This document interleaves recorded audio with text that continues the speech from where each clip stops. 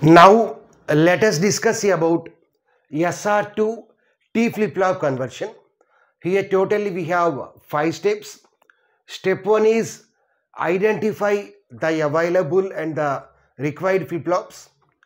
Step 2 is based upon the required flip-flop whereas step 3 and step 4 are based upon the available flip-flops. Uh, step 5 is uh, we have to construct the logic diagram. Uh, so let us see step 1 identify the available and the required flip-flop. So here the available flip-flop is nothing but uh, input flip-flop that is SR flip-flop whereas required flip-flop means output flip-flop that is T flip-flop. The second step is construct characteristic table for the required flip-flop. So here the required flip-flop means output flip-flop that is T flip-flop.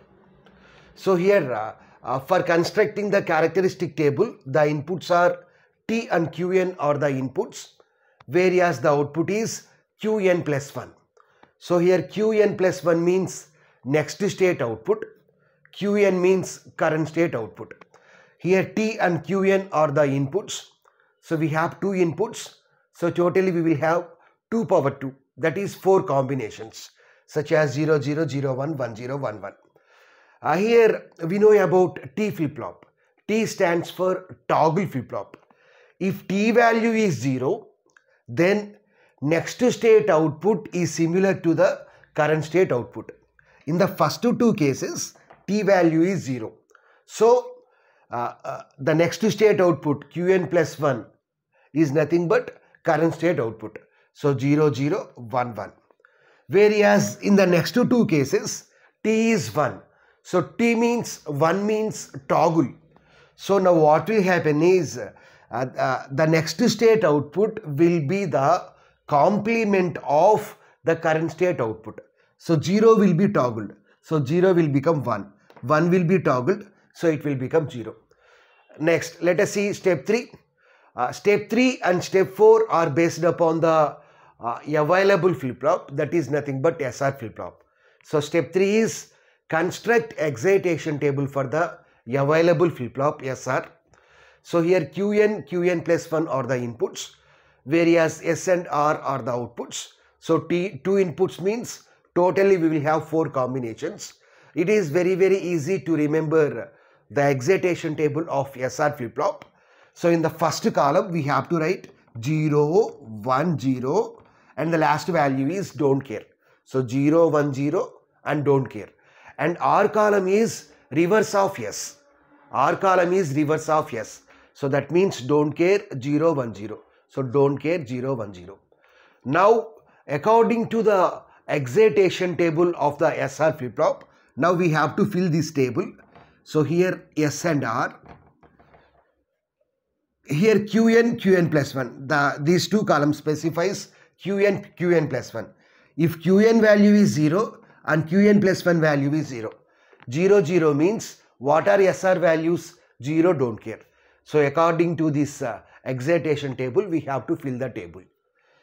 So 0, 0 means 0 don't care. 0 don't care. Next to 1, 1. So 1, 1 means don't care 0. Don't care 0. Next 0, 1 means 1, 0. 1, 0. Next to 1, 0 means 0, 1. 1, 0 means 0, 1. Now uh, the next step is find boolean expression for the available flip-flop that is S and R.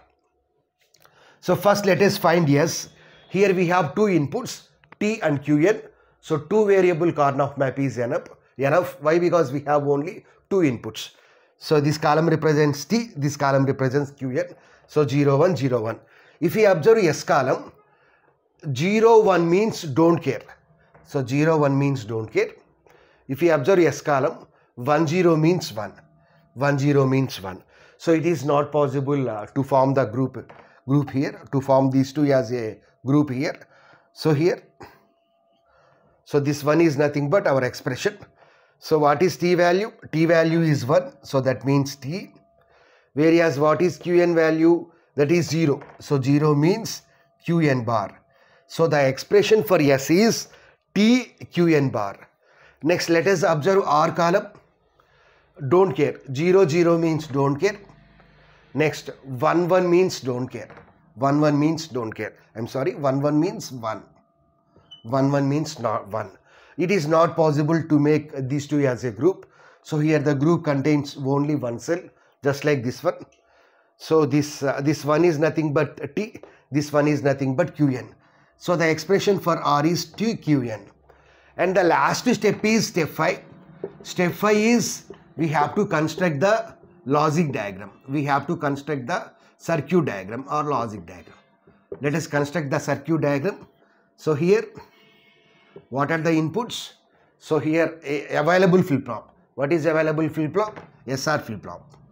So S and R are the inputs whereas the output is Qn is actual output, Qn bar is complemented output. What is the formula for S? T Qn bar. So S receives input from T Qn bar. Qn bar.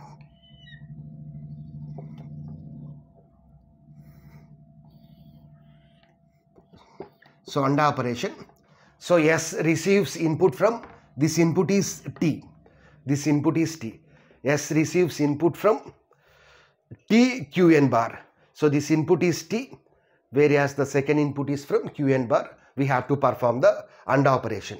Next what is the formula for R? R means TQN. R means TQN.